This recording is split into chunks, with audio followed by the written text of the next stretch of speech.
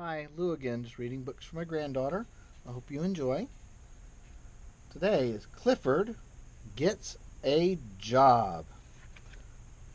Clifford is a big red dog. That's his owner.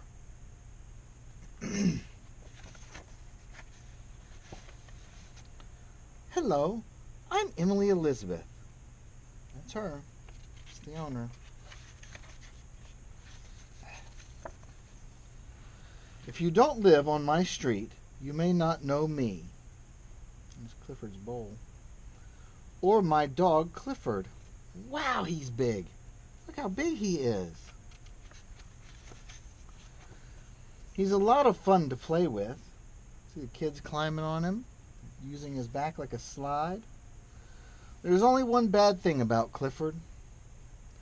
He eats, oops, a lot of dog food and a lot of dog food costs a lot of money.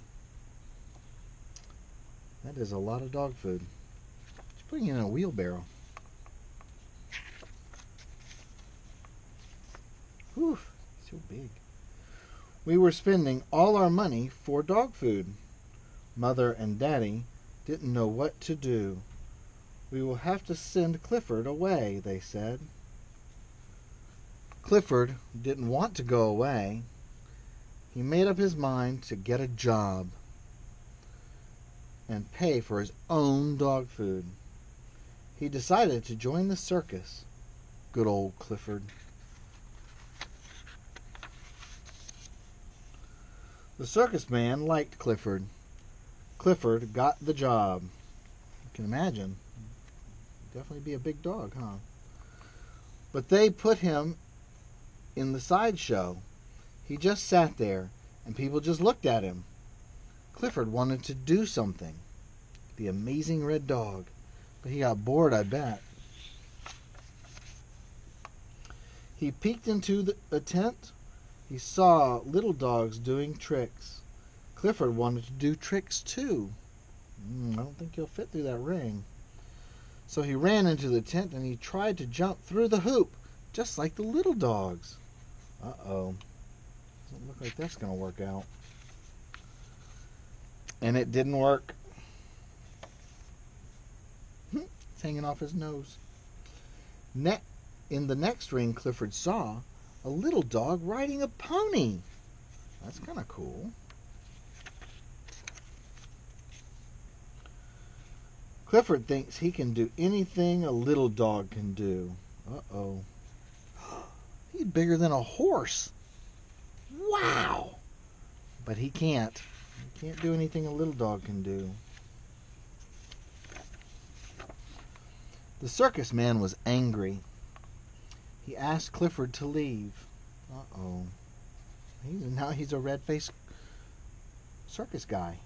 Huh. Don't worry, I said. You can get another job. So he went to see a farmer. Well, that's a good idea. The farmer thought Clifford would be a good farm dog. He said Clifford could work for him. First, Clifford rounded up the cows. There was a cow I'd run from him too. A big dog. Then Clifford brought home a wagon full of hay. He was doing so well. And then he saw a rat running in running to the barn. Clifford knew that rats on a farm were very bad. Uh-oh. So Clifford chased the rat. Uh-oh.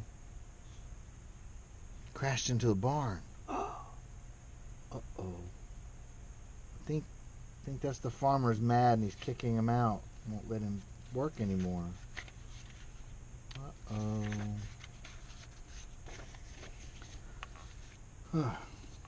Clifford and I started home. We felt very bad. Everything had gone wrong. Suddenly, a car came speeding past us. Uh-oh, that looks like bad guys.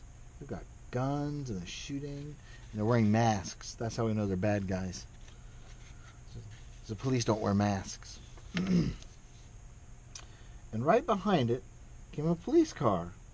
And they they were chasing robbers. Oh, see, the robbers had masks on so you couldn't see their faces. Clifford took a shortcut through the woods. Almost looks like he went over the woods, doesn't it? And caught the robbers. Wow. I was very proud. The chief of police offered Clifford a job as a police dog. Now Clifford goes to work every day. They don't pay him any money, but every week they send Clifford a lot of dog food. So now we can keep him. Isn't that wonderful? Good old Clifford. That's awesome. That's Clifford the Big Red Dog by Norman Bidwell. Oh, I'm sorry, Norman Bridwell. I said that wrong. Take care. Read to your kids.